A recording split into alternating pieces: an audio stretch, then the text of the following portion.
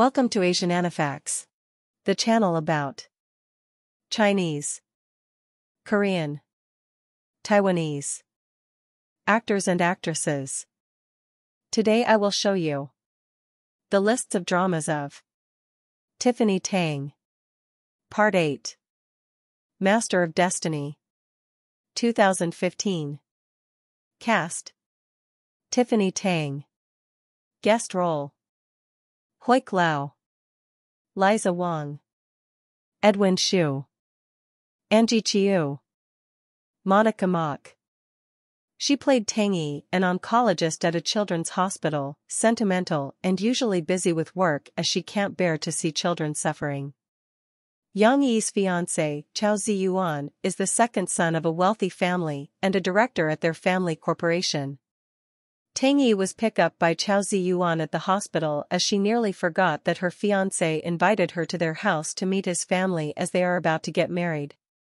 However, after Tang Yi meets Chao Ziyuan's family a chaos happens in the family, fortunately it was handled well by Chao Ziyuan's mother. Tang Yi met Chao Ziyuan abroad when she and her friend were being harassed in a karaoke bar and Chao Ziyuan rescued them. Tang Yi and Chao Ziyuan became friends, then lovers.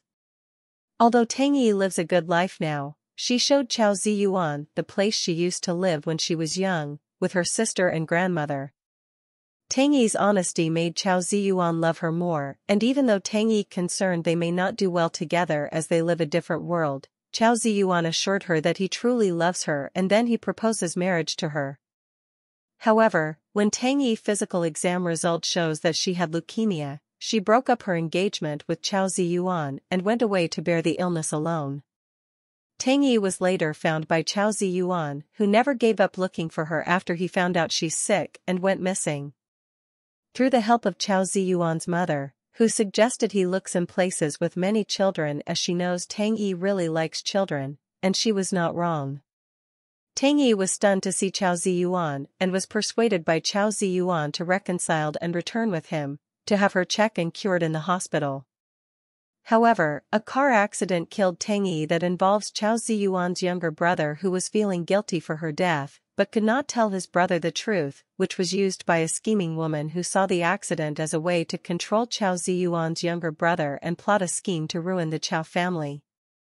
The Lost Tomb 2015 Cast. Tiffany Tang. Li Yifeng Yang Yang. Cheng Pei Pei. Ken Chang Wei Wei.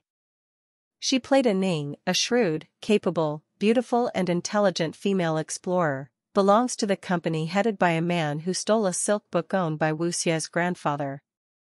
Wu Xia is descended from the founding members of Old Nine Gates with a long-standing history of tomb raiding. His parents were both archaeologists who were killed by other tomb raiders, which was the reason he was sent to study abroad for his own safety. Aning was tasked by his boss to recover an artifact that was found by Wu Xia. Aning and her henchmen tried to catch Wu Xia, but because of the sudden appearance of a mysterious man A Ning was ordered by her boss to let go of Wu Xia and the artifacts. Later Aning encountered Wu Xia and his team as she and her henchmen were looking for the same artifacts and secret of the tomb that was written in the Silk Book. Aning was bitten by the corpse-eater bug and was saved by Wu Xia, but she refused first to accept his help, but when one of Wu Xia's team knocked her out, she woke up being bandaged in her arms that was bitten by the corpse-eater bug. Then Aning, Wu Xia and his team walked together to escape the tomb.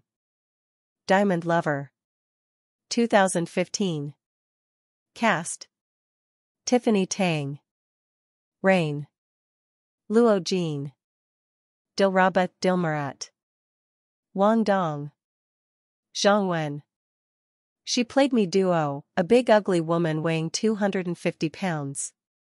Mi Duo has an inferior and cowardly personality, never dares to fight for what she wants, and is a loser in the workplace and in relationships.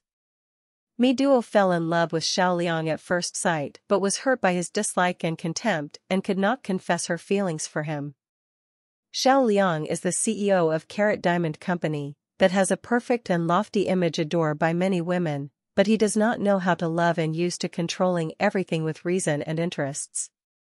Mi Duo had a car accident that required her to undergo plastic surgery, which made her slim and beautiful. Now Mi Duo with a new appearance that gives her full confidence applied for a job at Xiao Liang's company to become a designer assistant.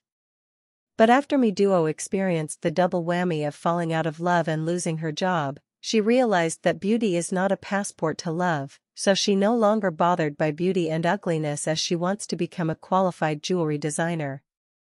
Although Mi Duo had experienced various setbacks in the workplace and had repeatedly failed, she never gave up. Mi Duo's optimism and positivity deeply attracted Xiao Liang and developed feelings for her. Thank you for watching. Please subscribe if you want to see more videos like this.